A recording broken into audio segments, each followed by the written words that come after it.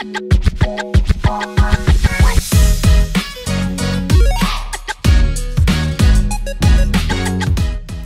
everyone, and welcome to my first devlog where I share my experiences with development and hopefully can help you along the way as well. I recently have started development on a dream game of mine where you explore a world full of mystery, adventure, and dark secrets. I've always loved how Zelda games, Ocarina of Time in particular, have been able to portray this sense of adventure and danger. You are exploring this exciting world with many interesting things to come across, but there are certain moments that the game takes these sinister turns that require true bravery on your part to traverse. You quickly realize that while everything seems fine on the surface, there are dark secrets to uncover.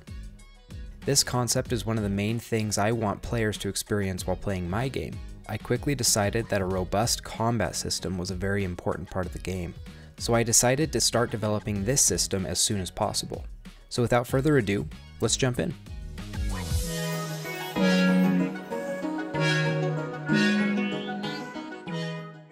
First, I needed an enemy. Since I'm still working on building out systems, I didn't want to worry about 3D modeling and animating an enemy right now, so I grabbed this amazing and free asset off the Unity Asset Store. I decided to use scriptable objects for my enemy objects. Each scriptable enemy stores all of the main variables that are needed to control that enemy. I then implemented a custom inspector, which allowed me to do more complex logic, like creating this custom enemy attack set editor.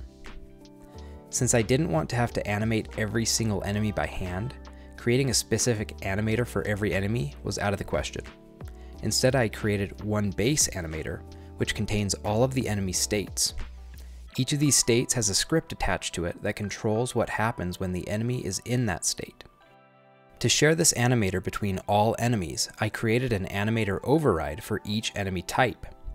In this case, I have my Skelly animator override, which I will add to my Skelly enemy scriptable object.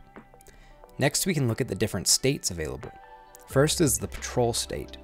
If we activate the patrol state, we can see we have multiple different fields to control the speed and acceleration of the enemy's nav mesh. We can then select the Has Waypoints option, which allows me to add waypoints to the enemy. These line gizmos are all controlled by a function in the enemy manager script called onDrawGizmos. This allows us to see gizmos used for development, which really comes in handy.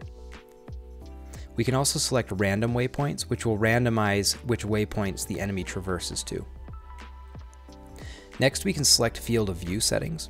This allows the enemy to actually see the player. First, we can adjust the viewing angle, which we can see updating with our widget. We can also adjust the field of view radius, which makes the enemy be able to see further away. Now that the enemy can see us, it would be pretty boring if it didn't do anything about it. So let's take a look at the chasing state. The chasing state allows us to set the new speed and acceleration for the enemy once they start chasing the player. But currently the enemy just runs into you. That's kind of boring. So let's add a strafing state. The strafing state says once the enemy gets close enough to the player, switch into a state where they will move randomly in a circle around the player. This is controlled by the start strafe distance. The min and max strafe times are used to determine when the enemy will switch the position it is strafing to, which makes the enemy feel a little more fluid and natural. The effect works pretty well, although not perfect, and definitely needs more work. But for now, let's add more skeletons. Next is my favorite part of this custom system, the attack settings. For this I ended up creating a custom editor for my inspector that allows me to add attack sets. An attack set in this context is basically a list of attacks that the enemy will perform in a row. For example, I can add an attack set called attack slash dodge with a range of 3. That means once the player enters the range, the enemy will perform this attack. I can add multiple attacks to the set, which means the enemy will perform the attacks in succession. In addition, we can add an attack movement to each specific attack, which allows us to move an enemy in dynamic ways while an attack chain is being performed. For example, in this case, I have the enemy perform the Skelly knockback animation. This animation will first move the enemy away from the player, starting at the beginning of the animation. The next movement slightly moves the enemy to the left, starting at the same point as the previous animation ended. This allows me to create these attack chains very easily and quickly with minimal code. Now keep in mind this system is far from perfect. There is still a lot of work to do to add more functionality as well as clean up the NavMesh agent movement.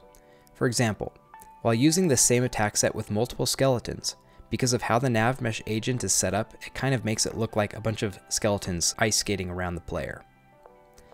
In my next devlog, I'm going to focus a lot more on cleaning up the enemy NavMesh agent movement and refactoring some of these systems. Anyways everyone, that's it for my first devlog. If you have any questions or thoughts, please let me know in the comments. For those who enjoyed the video, please consider liking the video. And for those of you who want to see more devlogs like this one, subscribing with the notification bell on will help you stay up to date. With that, thanks for joining me for this devlog, and I'll see you next time.